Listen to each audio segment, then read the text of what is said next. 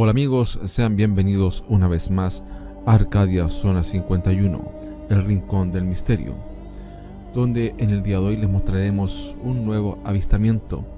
que ocurrió el pasado 25 de septiembre, donde Jason Callum, un astrónomo aficionado británico,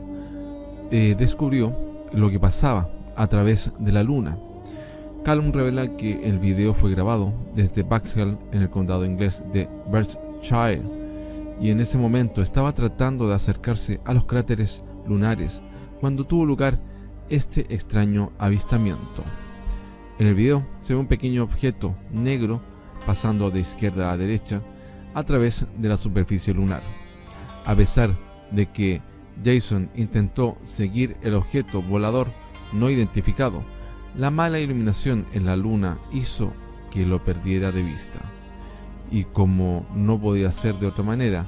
a medida que el video se volvía viral, los teóricos de la conspiración dijeron que se trata de la mejor evidencia de que los extraterrestres tienen una base secreta en la superficie lunar.